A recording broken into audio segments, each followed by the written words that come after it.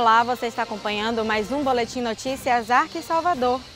A Pastoral da Comunicação oferecerá a formação Direito e Comunicação, uma breve introdução aos aspectos jurídicos da comunicação social e seus impactos na atuação dos agentes da PASCOM. A atividade acontecerá no dia 13 de julho, das 9 horas da manhã ao meio-dia, no Centro de Pastoral da Cúria Bom Pastor. O interessado deve realizar a inscrição em nosso site.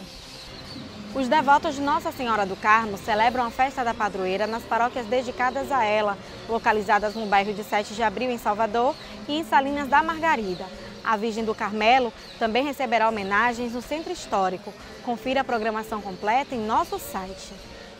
Continuam abertas as inscrições para mais uma edição da Jornada de Espiritualidade da Juventude, organizada pelo setor Juventude da Arquidiocese de Salvador.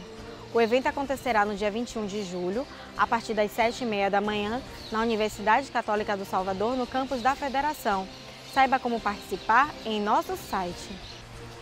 Estas e outras notícias você confere em www.arquidiocesesalvador.org.br. Na semana que vem estaremos de volta.